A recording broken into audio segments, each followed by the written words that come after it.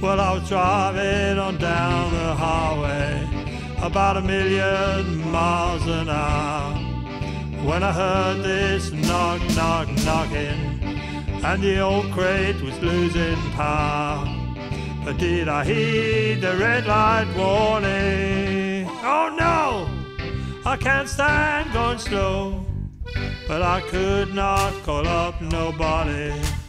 Cause I had me no mobile phone.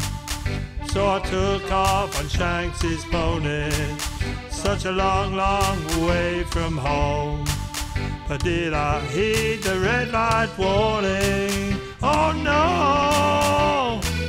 I can't stand going slow. Well, then I saw these headlights flashing and a big old. Beautiful blonde leaned over with a come on look in her eye. And did I heed the red light warning? Whoa, no! I can't stand, I can't stand going slow. Well, then I hopped on board and I held her tight and I kissed her tasted just like ketchup and salty as a bag of chips. With maybe a pickled onion or a really a great big gherkin. Well, then I woke up in Newport Pagnell. I must have fallen asleep at the wheel. And I realized I had dreaming. My face in a happy meal.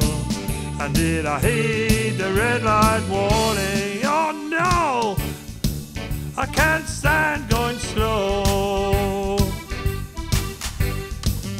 So I got me back on the highway about a million miles an hour. And I really, I really put my foot down and the old crate was gaining power. We was going,